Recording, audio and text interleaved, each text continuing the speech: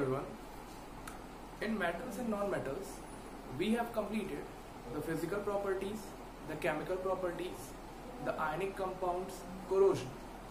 All the lectures, videos are given below in the description section. You can go there, like my videos and subscribe my channel. Now, today we are going to start the final topic of our chapter that is extraction of metals. Basically इसको पढ़ने से पहले हमें दो तीन word से उनका मतलब जानना बहुत ज़रूरी है जैसे पहला वर्ड से मिनरल जो पहला वर्ड है वो mineral most of the element और compound that are form naturally in the earth crust in the form of mineral जो बहुत सारे कंपाउंड है अर्थ में, या एलिमेंट्स हैं, वो नेचुरली अर्थ क्रस्ट में मिलते हैं in the form of minerals but depending upon the reactivity of the metal जैसे कोई एलिमेंट बहुत ज़्यादा रिएक्टिव होता है, कोई एलिमेंट बिल्कुल भी रिएक्टिव नहीं होता है. जैसे गोल्ड हो गया प्लेटिनम हो गया, ये बहुत कम रिएक्टिविटी शो करते हैं. इसलिए फ्री स्टेट में मिल जाते हैं। लेकिन जो एलिमेंट अपनी रिएक्टिविटीज शो करते हैं, चाहे वो मिडिल रिएक्टिविटी हो मतलब कम रिएक्टिव चाहे वो ज़्यादा reactive they are not forming their independent state ये किसी मिनरल में बहुत ज़्यादा परसेंटेज में अटैच होकर के मिलते हैं। सो दोज मिनरल्स या those metals which are composed in any of the mineral and which can be extracted profitably from that particular mineral, these minerals are called ores. ऐसे minerals को क्या बोलते हैं? Ores बोलते हैं। जैसे suppose bauxite bauxite is ore of aluminium जो aluminium है, वो अर्थ क्रस्ट में अपने ऑक्साइड्स के फॉर्म में मिलता है। तो हमें उससे क्या करना है? मेटल को एक्सट्रैक्ट करना है। क्यों? क्योंकि जो एल्यूमिनियम ऑक्साइड है, उससे जो एल्यूमिनियम हम निकाल रहे हैं, उसे हमें डिफरेंट फॉर्म्स में यूज़ करना है। तो उसी प्रोसेस को बोलते हैं एक्सट्रैक्शन ऑफ़ मेटल की मतलब उनकी ओर से उन्हें अलग करना और अलग करके फिर उनके प्योरिफिकेशन करना वेरियस यूजेस के लिए। तो पहला वर्ड था मिनरल सेकेंड वन था ore third word is gangue G A N G U E gangue gangue मतलब होता है जब भी हम किसी ओर को माइंड करते हैं और उसे निकालते हैं अर्थ क्रस्ट के बाहर तो उसमें बहुत सारी इम्प्योरिटीज प्रेजेंट होती हैं। जैसे सॉइल अटैच्ड रहेगी सॉल्ट पार्टिकल्स अटैच रहेंगे रॉक पार्टिकल्स अटैच रहेंगे सैंड पार्टिकल्स अटैच रहेंगे। तो these type of impurities that are attached with the ores at the time of mining, they are called gangue so, these three words are clear. Mineral ore and gangue so our topic is starting now the extraction of metal तो basically extraction के लिए तीन processes की ज़रूरत पड़ती है पहली process है concentration of ore concentration of O. This, in this step, the basic procedure is to remove the gang or the impurities that are present in the ore. जो भी impurities उस ore में जब हमने माइन किए तो उससे जो भी impurities साथ में अटैच्ड है, उसे सेपरेट करने के प्रोसेस को बोलते हैं कंसेंट्रेशन ऑफ़ ओर इसको सेपरेट करने के लिए बेसिकली जो गैंग है और जो ओर है, उसकी जो फ़िज़िकल और केमिकल प्रॉपर्टीज़ का डिफरेंस होता है, उसी के बेसिस पे हम इसे सेपरेट कर सकते हैं. तो प्रोसेसिंग से पहले उस इम्प्योरिटीज को अलग करना बहुत ज़रूरी है. तो सेकेंड स्टेप अब आएगा the conversion of concentrated ore into metal concentrated ore into metal that ore that we have concentrated मतलब जिससे हमने इम्प्योरिटीज को अलग कर दिया। अब उसका हम क्या कर रहे हैं? कन्वर्जन कर रहे हैं किस फॉर्म में? मेटल के फॉर्म में। तो देखिए, ये जो कन्वर्जन होता है, ये बेसिकली थ्री स्टेप्स में होता है।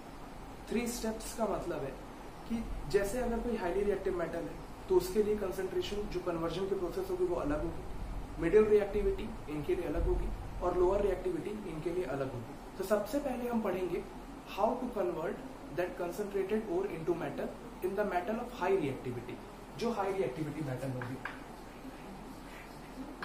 So basically high reactivity metals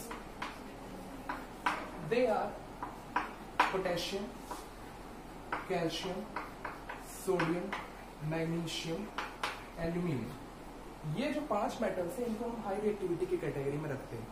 इनमें ये जो चार मेटल्स हैं, ये अपने क्लोराइड्स के फॉर्म में मिलते हैं और ये जो है, ये ऑक्साइड्स के फॉर्म में होता है। मतलब अगर आपको सोडियम को एक्सट्रैक्ट करना है तो सोडियम बेसिकली सी वाटर में सोडियम क्लोराइड के फॉर्म में मिलती है। तो अगर हम एक एग्ज़ाम्पल लेकर चले कि हमें सोडियम को एक्सट्रैक्ट करना है। किससे? सोडियम क्लोराइड से। तो what will be the ore of sodium then rock salt that is NaCl. So ore of sodium is rock salt and this is NaCl. अब मुझे इसे क्या करना है? एक्सट्रैक्ट करना है। मतलब मुझे सोडियम को अपनी सोडियम क्लोराइड से अलग करना है कि मैं उसे डिफरेंट जगह पे यूज़ कर सकूँ। तो जो हाई रिएक्टिविटी मैटर होते हैं, इनका एक्सट्रैक्शन करते हैं by the process of electrolysis electrolysis chapter one में भी आपने पढ़ा होगा कि वहाँ पर करंट को पास करते हैं और करंट पास करने से हम इसे क्या कर सकते हैं? सेपरेट कर सकते हैं. तो सबसे पहला जो इम्पोर्टेंट चीज़ है, ये जो सोडियम क्लोराइड है दिस इज़ आयनिक कंपाउंड तो ये इलेक्ट्रिसिटी कंडक्ट कब करेगा? जब ये मोल्टेन फॉर्म में रहेगा, अपने मेल्टेड फॉर्म में.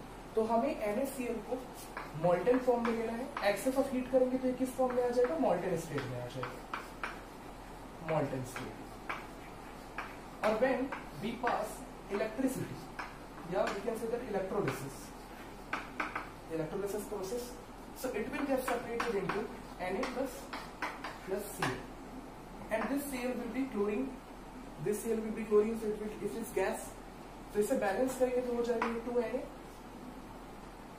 two N A C.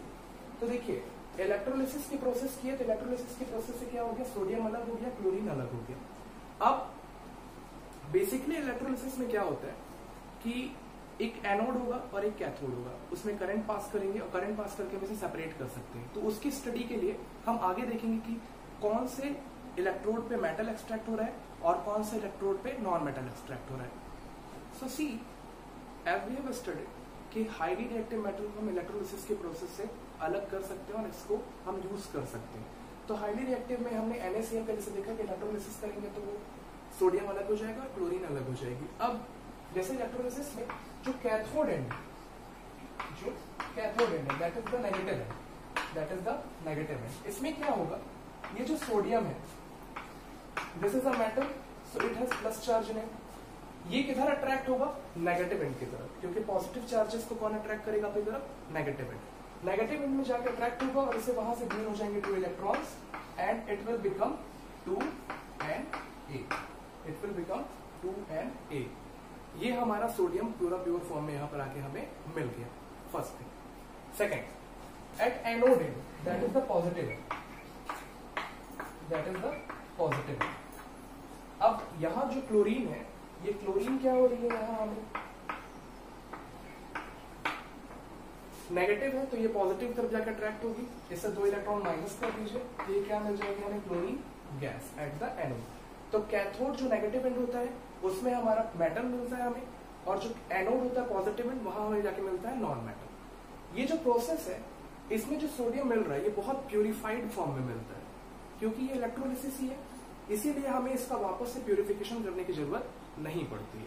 तो this is the extraction of highly reactive matter now we have studied the conversion of concentration concentrated ore of highly reactive matter now we are going to take the case of middle reactivity matter middle reactivity matter like zinc iron lead copper these are coming under the middle reactivity matters So the middle reactivity metal ores are formed in the form of oxides,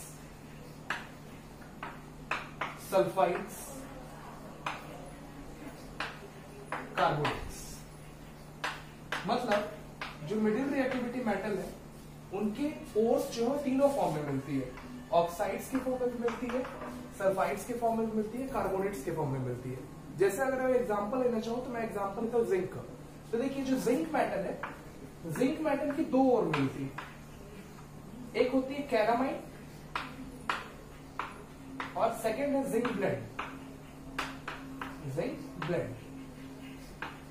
Calamine is zinc carbonate zinc plant means zinc sulfide so middle reactivity metal में जो है वो तीनों form में मिलती है but ये जो सल्फाइड और कार्बोनेट्स की ओर मिलती है, इससे हम डायरेक्टली इस मेटल को एक्सट्रैक्ट नहीं कर सकते, क्योंकि ये बहुत ही डिफ़िकल्ट प्रोसेस हो जाती। है तो हमें जब भी हमारी ओर कार्बोनेट या सल्फाइड के फॉर्म में मिले तो first of all we have to convert that ore into oxide form फिर ऑक्साइड से आप इजीली उसे रिड्यूस करके अपने मेटल को एक्सट्रैक्ट कर सकते हैं। तो जब भी आपकी ओर कार्बोनेट या सल्फाइड फॉर्म में रहेगी तो आपको उसे पहले ऑक्साइड के फॉर्म में कन्वर्ट करना पड़ेगा। जैसे हम केस लेते हैं जिंक की दोनों ओर का। तो देखिए जिंक की जो ओर है कार्बोनिक अगर उसे हमें कन्वर्ट करना है ऑक्साइड के फॉर्म में तो हम इजीली कर सकते हैं by applying heat in and it will convert into zinc oxide and carbon dioxide देखिए, ये जो रिएक्शन यहाँ पर हो रहा है, ये अपसेंस ऑफ़ एयर में हो रहा है, क्योंकि इसमें ऑलरेडी ऑक्सीजन के कुछ मॉलिक्यूल्स हैं तो ये अपसेंस में हो रहा है। तो इस प्रोसेस को, जिसमें आप हीट प्रोवाइड कर रहे हैं absence of air this is called calcination this process is called calcination when heat is provided in absence of air means when a metal या फिर ore is heated in absence of air this is called calcination secondly if i'm going to take the case of zinc sulfide zinc sulfide को आप excess of air में heat करिए तो ये किसमें convert हो जाएगा zinc oxide plus sulphur dioxide इसे बैलेंस कर देते हैं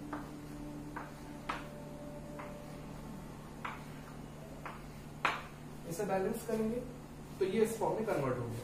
See two zinc two zinc two sulphur two sulphur and six oxygen from both the sides अब देखिए हमें जो जिंक ऑक्साइड है, वो दोनों तरफ़ यहाँ पर स्टेबल होकर के मिल गए दोनों तरफ़ में क्या हो गया? स्टेबल होकर के यहाँ पर मिल गया। अब इस जिंक ऑक्साइड का हम क्या कर सकते हैं? रिडक्शन जिंक ऑक्साइड का हम क्या कर सकते हैं? रिडक्शन इस जिंक ऑक्साइड का जैसे हम रिडक्शन करेंगे तो हमें क्या मिल जाएगा यहाँ से? जिंक प्लस कॉपर तो this process is called reduction इस प्रोसेस को क्या बोलते हैं? रिडक्शन और when I am heating any element, a compound in excess of air, this process is called roasting. This process is called roasting तो देखिए हमने यहाँ तीन चीज़ें पढ़ी.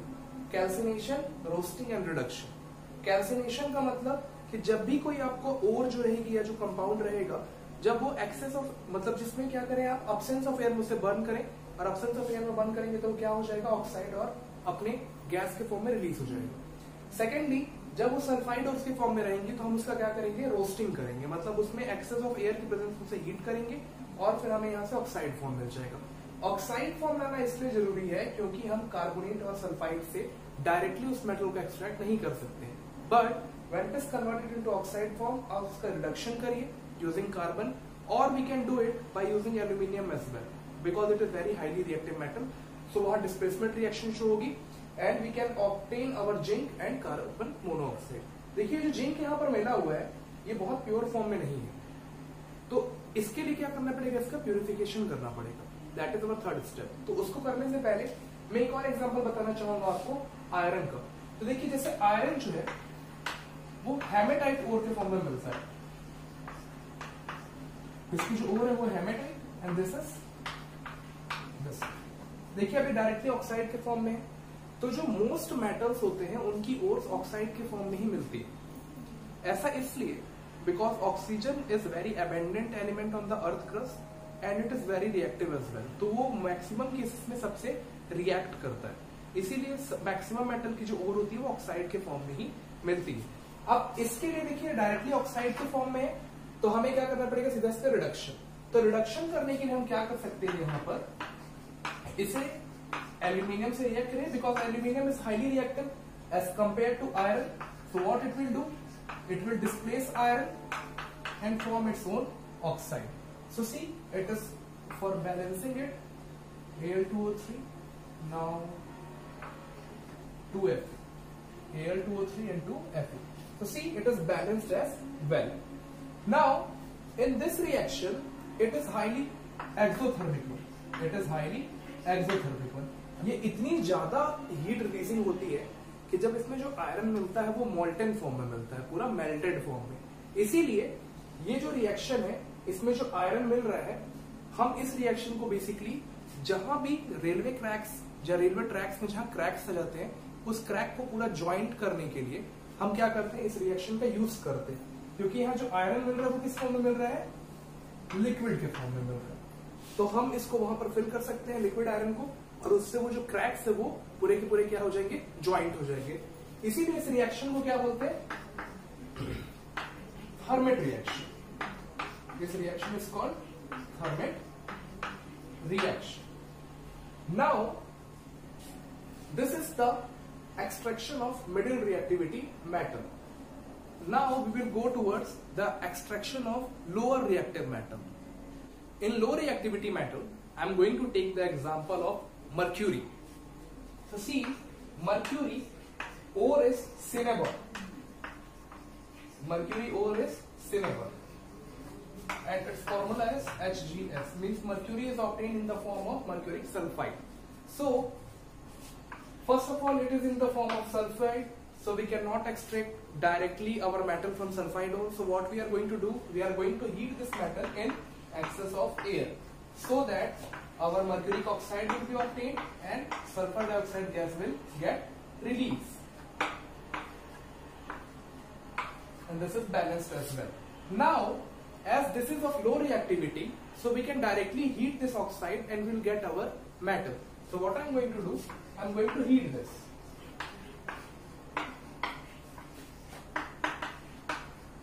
See, our metal is obtained. This is my metal. So this is the process of obtaining the low reactivity metal. So this is the second step.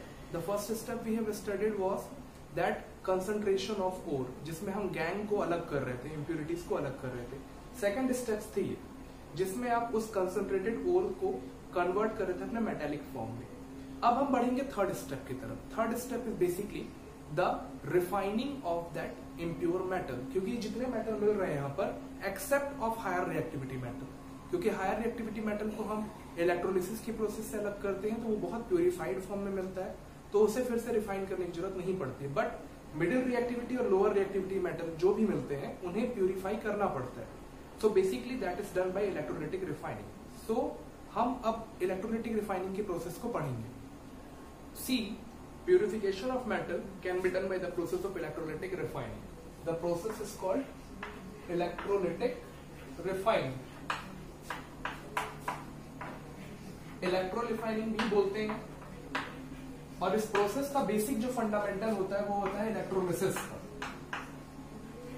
Basic fundamental होता है electrolysis का। देखिए, इसमें क्या करते हैं? We are taking one electrolyte this is called electrolyte electrolyte मतलब ऐसे सॉल्यूशन जो इलेक्ट्रिसिटी को क्या करते हैं? कंडक्ट करते हैं. Now I am going to take one battery battery का पॉजिटिव एंड जो होता है, वो कहलाता है एनोड जो नेगेटिव एंड होता है, वो कहलाता है cathode so this is anode and this is cathode suppose I am taking example of copper मैं कॉपर का एग्ज़ाम्पल ले रहा हूँ। मैंने उसे कंसनट्रेट किया उसकी ओर को, फिर उसकी ओर को मेटेलिक फॉर्म में कन्वर्ट किया। अब जो मैटर मुझे मिला दैट इज़ वेरी इम्प्योर मतलब मैं उसे किसी भी फॉर्म में यूज़ नहीं कर सकता हूँ। सपोज़ मैं अगर लेना चाहूँ तो इलेक्ट्रिसिटी का केस इलेक्ट्रिक वायर्स हम कॉपर के बनाते हैं। लेकिन जो इम्प्योर मेटल हमें वहाँ कॉपर का मिला है, हम उसे यूज़ नहीं कर सकते, क्योंकि देखिए, उससे बहुत इम्प्योरिटीज है। तो इलेक्ट्रिसिटी कंडक्शन में बहुत दिक्कत जाएगी। इलेक्ट्रिसिटी बहुत अमाउंट में वेस्ट भी हो सकती है। तो हमें क्या करना पड़ेगा पहले? उसे प्योर करना पड़ेगा। सो so, जो मेटल हमें ऑप्टेन हुआ है at the time of conversion वो हुआ इम्प्योर मेटल तो इम्प्योर मेटल कहा जाएगा? एनोड में। इम्प्योर मेटल वो कहा जाएगा? एनोड जो प्योर मेटल जिसपे हम क्या करेंगे? यहाँ से निकाल के इसमें स्टिक करेंगे। तो ये जो कैथोड की स्ट्रिप होती है, ये होती है pure metal strip